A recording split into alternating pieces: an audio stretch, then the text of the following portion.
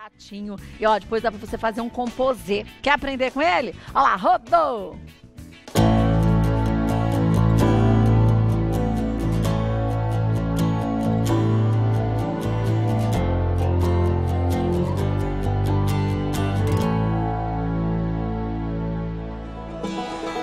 Oi, Kátia. Oi, pessoal que assiste Mulheres. Está vendo essa moldurinha aqui? Coisa mais fácil de encontrar hoje em dia em loja de artesanato. E se você não tiver essa moldurinha, você pode usar também aqueles porta-retratos antigos que você não usa mais, que estão meio caidinho. Você pode usar fazer um trabalho muito legal. E se você tiver vários porta-retratos aí que você não usa, não tem mais foto para colocar dentro, limpa, dá uma lixadinha, pinta com tinta spray tudo de branco e aí a gente vai fazer um trabalho que é muito delicado, muito gostoso de fazer, que a criançada pode fazer sem nenhum problema, inclusive. Olha só, eu peguei aqui um pedacinho de feltro, num azul turquesa, pode ser outra cor também, e aí eu vou recortar deste feltro um pedaço que encaixe ali naquela moldurinha.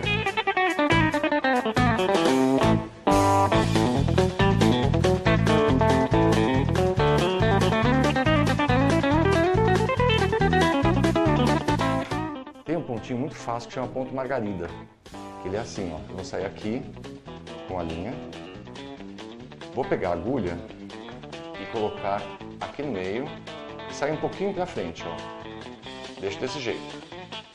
Passo a linha aqui embaixo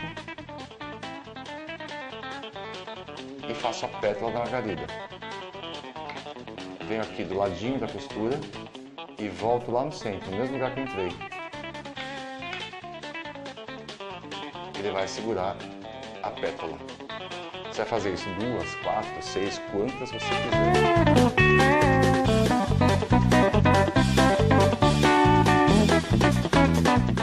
Fez aqui a margaridinha, joga a linha para trás e corta. Você vai fazer várias. Aí você vai fazer vários pontinhos iguais.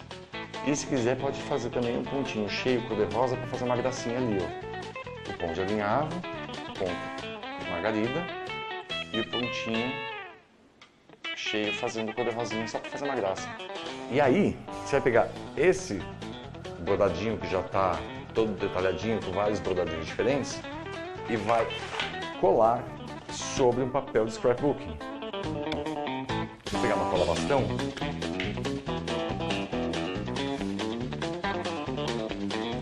vou passar sobre o papel.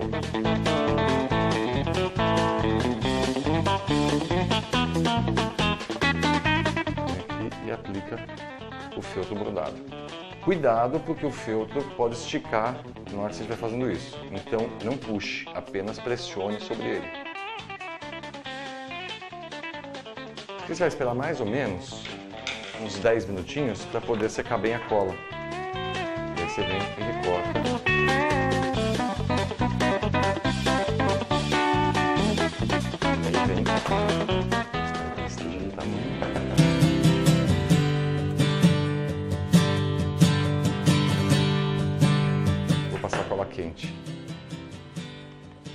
Moldura, não no feltro. Pode ser também cola universal ou cola de silicone.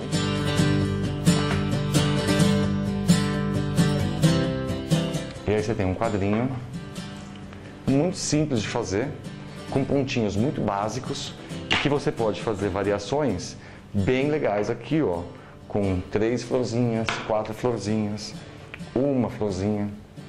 E aí você tem vários quadrinhos que você pode colocar naquele cantinho especial dentro do banheiro, no quarto, no corredor, que vai fazendo uma brincadeira bem bacana com esse trabalho que você faz muito rápido, inclusive.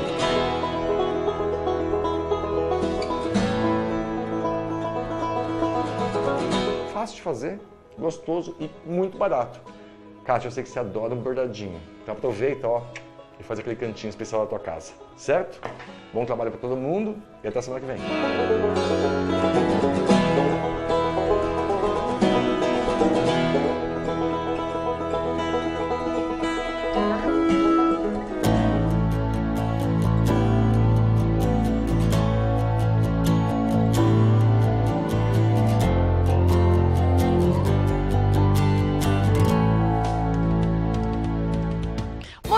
Fofo, né, gente? Um beijo pro Dargan. E olha, deixa eu mostrar pra você o quadrinho. Lembrar, hein, pra você aproveitar as dicas todas do Dargan. E faz um composê bem legal, bonitinho.